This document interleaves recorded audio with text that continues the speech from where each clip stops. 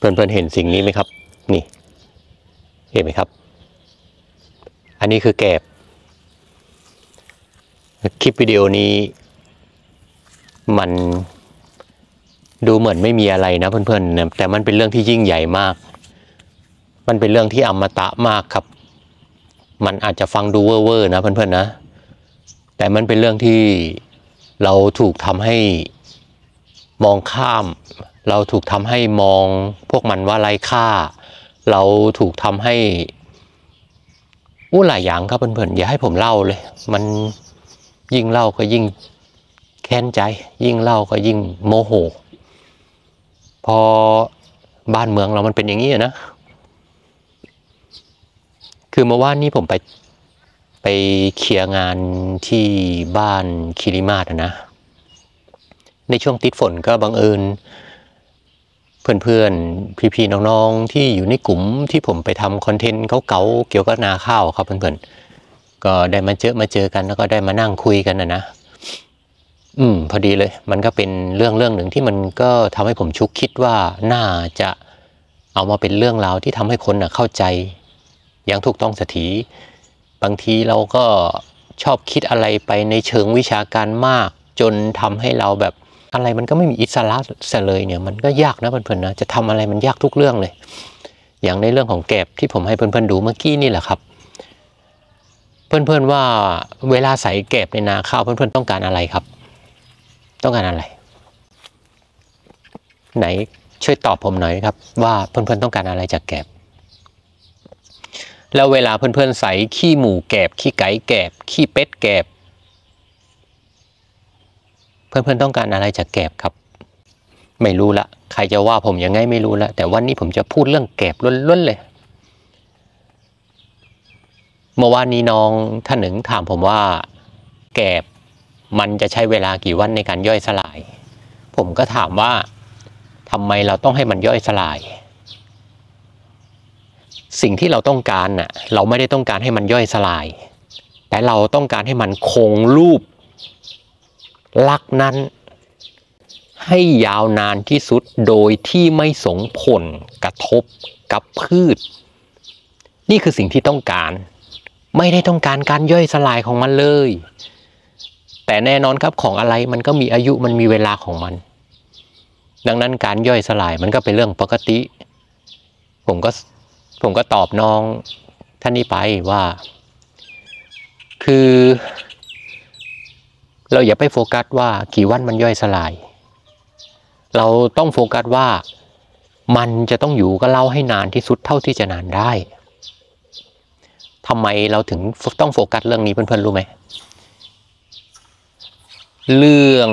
ของปัญหาดินที่มันเป็นผลึกอะดินที่มันเป็นแผ่นอะโซนทาง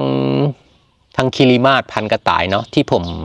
โอ้ผมก็วิ่งเป็นประจำเลยละช่วงนี้เพื่อนๆทางประจำเลยแหละวิ่งอยู่เงี้ยเราก็เห็นอยู่เงี้ยนานะเห็น คือสภาพข้าวสภาพดินอะนะเราก็เห็นอะบางทีบางเจ้าก็บางทีมันที่โล่งๆหน่อยปลอดรถหน่อยก็เราก็ลงไปดูนะ ลงไปจับลงไปดูดิน ปรากฏว่าดินมันมันคือดินอะเพื่อนๆดินมันคือดินเลยอะดินมันไม่มีอะไรเลยครับ ดินมันโหดร้ายมาก นอกจากผลนอกจากละเอียดแล้วยังโอ้โหแน่นเป็นผลึกเป็นปึกเป็นดานโอ้ไม่ต้องคิดเลยครับเพื่อนๆว่าข้าวจะโตยังไงนะถ้าไม่มีปุ๋ย ผมก็ไม่แปลกใจเลยว่าทำไมทุกคนถึงต้องถามว่ารอบหนึ่งสายอะไร รอบสองสายอะไร รอบสามสายอะไร เพราะสภาพดินมันเป็นแบบนี้ครับ มันประจวบเหมาะกับไอ้จังหวะที่น้องท่านนี้ถามเลยว่า ไอ้แกบเนี่ยมันใช้เวลากี่วันในการย่อยสลาย เราต้องมาโฟกัสว่า ทำยังไงให้แกบมันอยู่กับเรา มันอยู่กับพื้นนานเราให้นานที่สุดเท่าที่จะนานได้ นี่นี่คือสิ่งที่ต้องโฟกัส เข้าใจปะอืมทำไมเหรอ แกบมันสำคัญอะไรก็เราขนาดนั้นเลยเหรอ โอ้โหเพื่อนเพื่อนเพื่อนๆยังไม่รู้คุณค่าของมันอีกแล้ว ก็ผมถึงบอกไง ว่าใครที่ไม่เชื่อผมอะ อย่ารีบคอมเมนต์ไง ผมถึงบอกเสมอเลยไง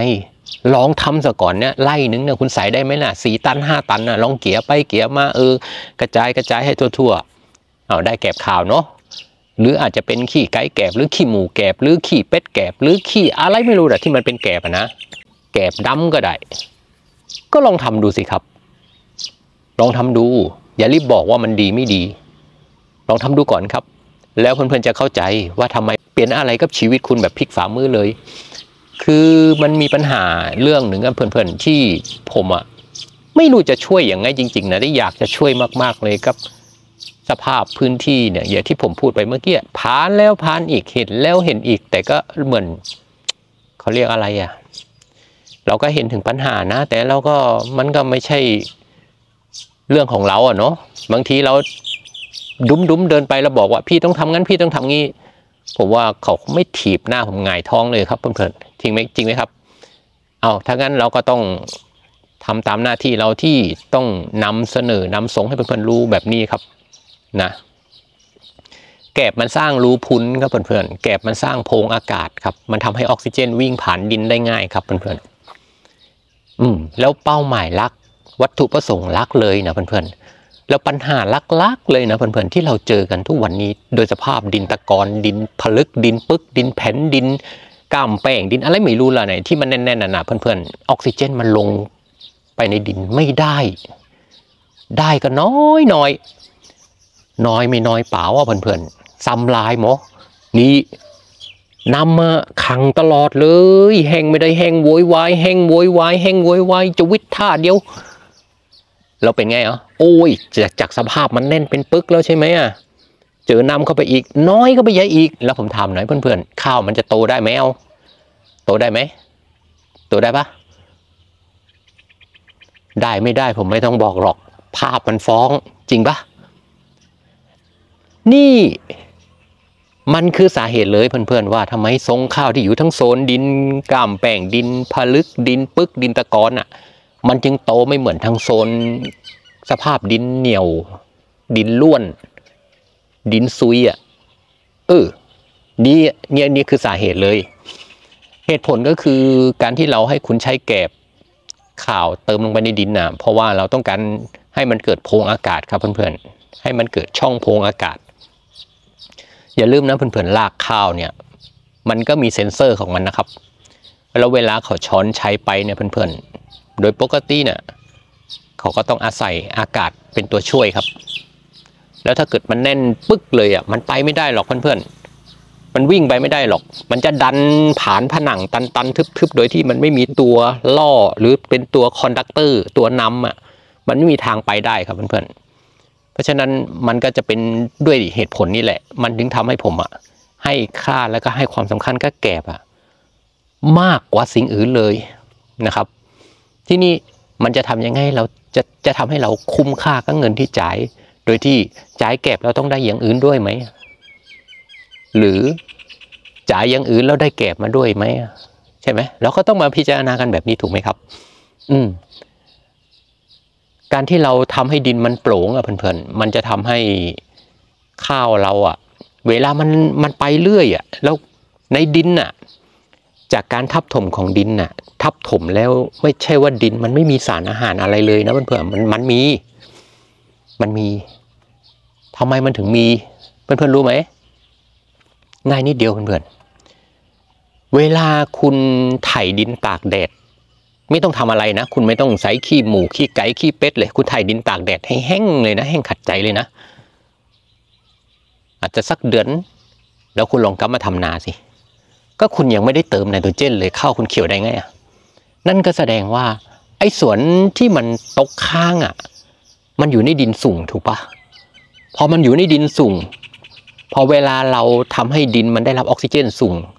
ทำให้ดินอะมันมันมีอนุภาคของการขายตัวที่สูง ออกซิเจนสองสงผ่านไอ้รอยแตกรอยเล่าของดิน มันทำให้เกิดอะไรครับเพื่อนๆก็เกิดปฏิกิริยาทำให้ ธาตุอาหาร ที่มันเป็นผลึกมันแตกตัว ต้นข้าวเราอะมันได้ประโยชน์จากอินทรีย์สาร แล้วก็ธาตุธาตุอินทรีย์พวกนี้ประมาณว่าเราพยายามที่จะเอาประโยชน์จากส่วนที่มันตกค้างอยู่ แต่ก่อนแต่เก่าแต่เดิมไม่รู้จะกี่ปีดีดักอะครับเพื่อนๆกลับมาใช้ประโยชน์นั่นเองครับ โดยที่เราจะพยายามโฟกัสกับสิ่งที่เราพยายามจะเติมกลับไปเนี่ยให้มันน้อยลง แต่เราจะเปลี่ยนจาก mindset ของการใช้เคมีนักๆ มาเป็นการเติมสิ่งที่มันเป็นธรรมชาติ เอากลับเข้าไปบำบัดธรรมชาติให้มากขึ้น นี่จึงเป็นเหตุผลของข้อสงสัยของเพื่อนๆท่านนี้ครับว่าผมเชื่อว่าไม่ใช่มีเพื่อนๆท่านนี้ท่านเดียวหรอกครับ ที่คิดแบบนี้ว่า แล้วเราใส่แกบแล้วกี่วันแกบจะย่อย แล้วแกบย่อยแล้วกี่วันข้าวถึงจะเอาประโยชน์จากแกบมาใช้ได้ ไม่นะครับเพื่อนๆ ส่วนย่อยก็คือส่วนหนึ่ง แต่ไอ้ส่วนที่เราต้องการคือต้องการให้มันไม่ย่อย ต้องการไม่ให้มันเปลี่ยนรูปร่างนะครับ ตรงนี้สำคัญกว่าครับเพื่อนๆ